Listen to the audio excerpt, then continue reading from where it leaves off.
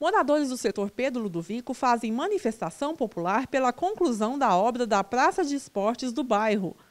A obra iniciou-se em 2017 e foi paralisada pela segunda vez.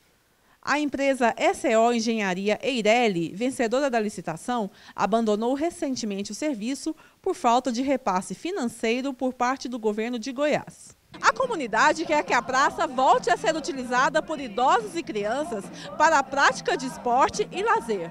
Infelizmente, com esse cenário de reforma, as atividades foram paralisadas e aí está paralisado até hoje, assim, se tornando um local propício, é, deixando de oferecer né, uma iniciação esportiva para todos os moradores locais e é, e é, realmente um descaso para toda a população. Tem que ser arrumado o mais rápido possível. O governador ele tem que olhar com bons olhos para essa praça, porque ela deveria ser o cartão visita do setor Pedro.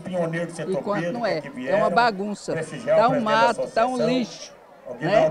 desativada. A obra, no valor de quase 5 milhões de reais, previa a construção do bloco de vestiários, reforma da pista de atletismo, implantação da cobertura e arquibancadas, entre outros. O vereador Paulo Magalhães disse que vai cobrar providências do novo governo. Esperar o governador tomar posse dia 1 de janeiro, logo em seguida nós iremos marcar com deputado para que possa marcar uma audiência e nós iremos cobrar do governador, levar para ele o conhecimento da manifestação pela segunda vez e o descontentamento da população.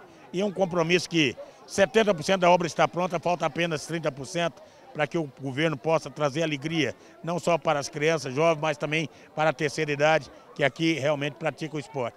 E faz natação, faz hidroginástica, então de forma que falta pouca coisa, 30% da obra. Eu espero que o governador tem sensibilidade, possa realmente resolver o problema dessa, dessa obra tão importante para a população, não só do setor Pedro, mas para a região sul.